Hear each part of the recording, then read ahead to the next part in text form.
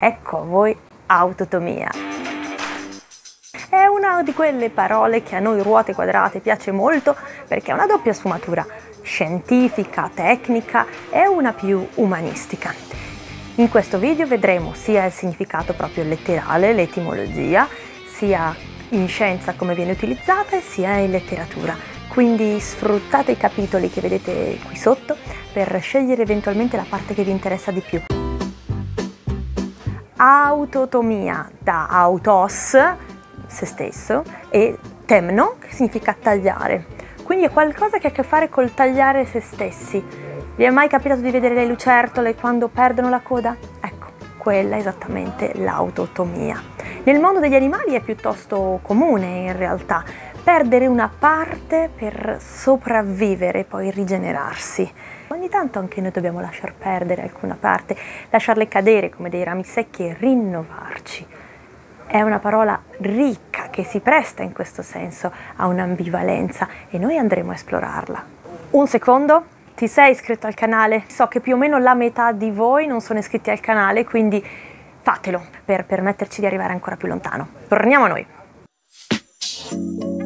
Abbiamo detto che l'autotomia è la perdita volontaria di una parte del corpo, una porzione, tentacoli, arti, addirittura le viscere e questo normalmente avviene sulla base di uno stimolo molto forte quando arriva un predatore che cerca di catturare l'animale. Il tentativo dell'animale è quello di far sì che il predatore si concentri sulla parte che perde e non sull'animale che scappa. E questo si verifica in molti tipi di animali. Le lucertole è un esempio che probabilmente conosciamo tutti, ma proviamo a vedere anche altri animali che utilizzano questa strategia furbetta per provare a sopravvivere. Io non sono un'esperta di animali, per cui se qualcuno di voi vuole puntualizzare e aggiungere qualcosa, lo spazio dei commenti è lì apposta per voi. Cominciamo con i celenterati, quegli animali radiali come i polpi, le meduse. I celenterati possono perdere alcuni tentacoli. Poi abbiamo gli echinodermi come le stelle marine. Essi possono perdere un braccio, tranquillamente, alcuni anche più segmenti e poi rigenerarli. Fanno parte degli echinodermi le oloturie, quelli che noi chiamiamo cetrioli di mare, che quasi non sembrano neanche animali, per questo vengono definiti cetrioli, ricordano il vegetale. Ecco, ricordiamoci bene delle oloturie perché torneranno a breve come protagoniste. Le oloturie sono in grado di espellere le loro viscere in circostanze in cui si sentono minacciate e poi col tempo rigenerano queste parti interne. Poi abbiamo anellidi come i lombrichi che perdono interi anelli, porzioni, possono addirittura separarsi a metà. Gli artropodi come i ragni per quanto riguarda gli animali della terraferma oppure i granchi, anch'essi possono perdere delle zampe, persino i molluschi possono perdere alcune porzioni. Se ci muoviamo verso animali più complessi, con lo scheletro, quelli che vengono chiamati vertebrati, ecco che compare la famosissima lucertola. E non solo la lucertola, ma anche altri animali come i gechi, simili alle lucertole, sono in grado di fare esattamente la stessa cosa. La codina staccata poi tende a muoversi in autonomia per parecchio tempo, distraendo tipicamente il gatto o il predatore di turno. Per quanto riguarda i mammiferi invece non ci sono esempi noti di autotomia, quantomeno non come l'abbiamo intesa finora, cioè con la capacità volontaria di perdere delle parti e di rigenerarle completamente.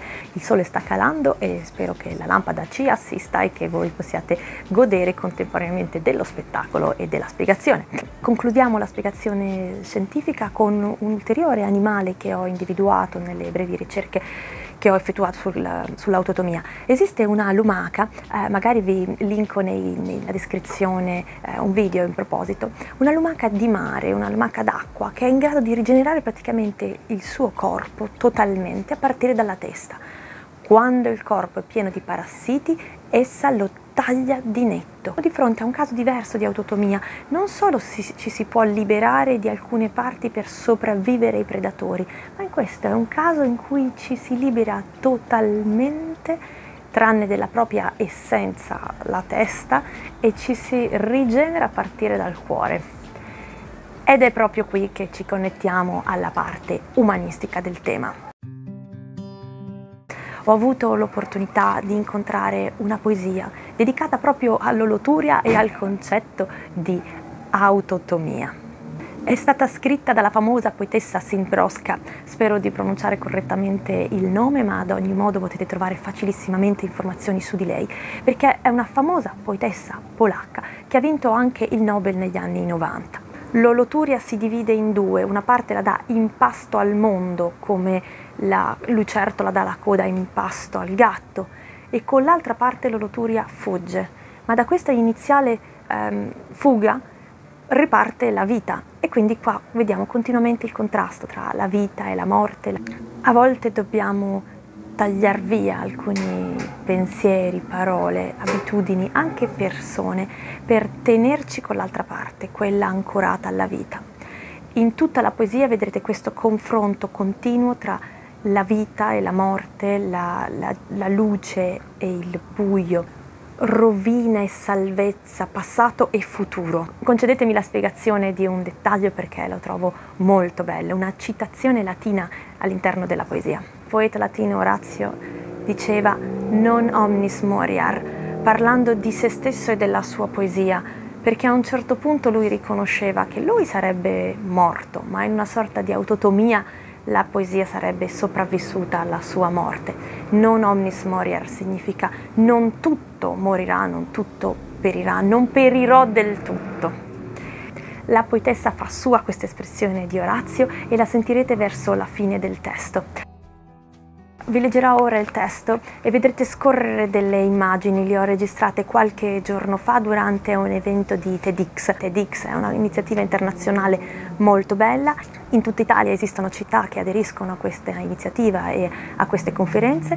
Ho conosciuto la poesia dell'autotomia in occasione di un evento organizzato da TEDx Varese, ehm, per cui le immagini si riferiscono proprio a quello che ha deciso di fare qualcosa di diverso, anziché una conferenza tutti seduti in un teatro ha portato il teatro nella nostra vita. Eh, abbiamo percorso un tratto di strada insieme all'interno del bosco con delle cuffie nelle quali ascoltavamo la lettura commentata da parte di un attore sia del percorso fisico che facevamo, sia del percorso che ha fatto l'umanità attraverso i millenni per giungere fino a noi, dove qualcosa si è rotto nel nostro rapporto con, uh, con l'ambiente.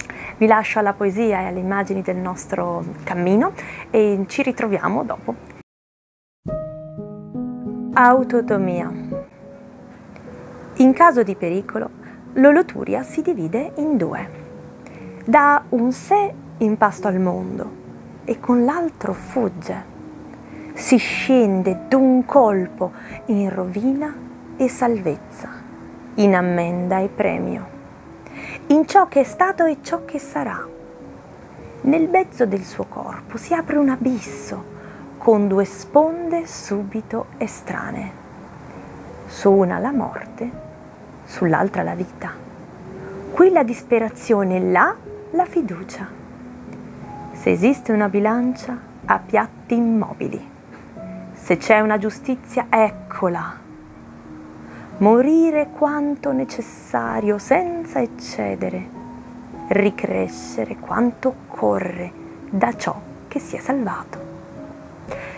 Già, anche noi sappiamo dividerci in due, ma solo in corpo e sussurro interrotto, in corpo e poesia.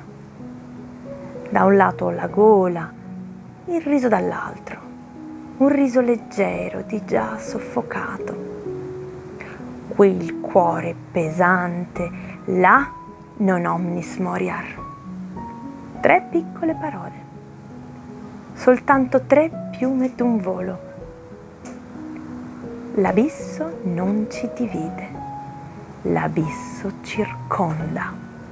Sono sicura che anche a voi questa poesia ha detto qualcosa e vi risuona in qualche modo. Sono curiosa di sapere qual è stata l'occasione nella vostra vita in cui avete lasciato andare qualcosa e vi siete rigenerati.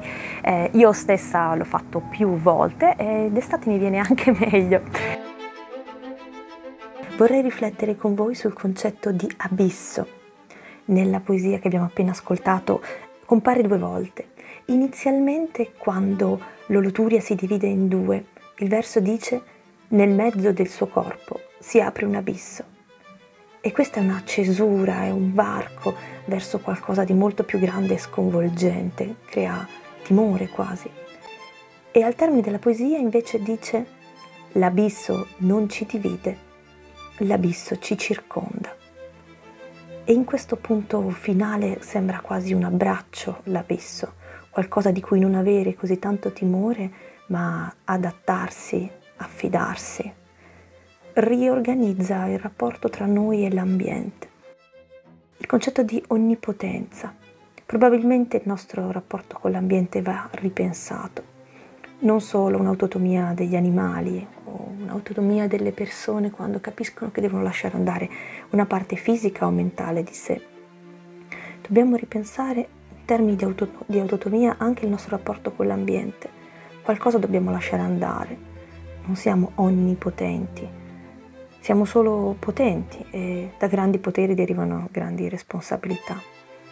L'abisso che ci circonda è un abisso del quale ci nutriamo noi stessi. La potessa simborosca parte da piccoli elementi quotidiani, ci mette di fronte al rapporto dell'uomo come singolo e come società con l'ambiente, con la natura, Aprire un'interpretazione della sua poesia a partire dal concetto di abisso è una mia interpretazione personale, appunto. A voi che cosa ha colpito di questa poesia? Cosa vi trasmette? Che rapporto con l'ambiente voleva suggerire la poetessa? Ultima chiamata! Iscritto? Ok, a questo punto per continuare sulla natura vi lascio un video registrato quest'inverno sull'intelligenza delle piante, la neurobiologia delle piante, oppure se preferite rimanere sul filo degli autori che hanno utilizzato concetti scientifici per parlare di società, niente di meglio di Flatlandia qui sotto. Ciao!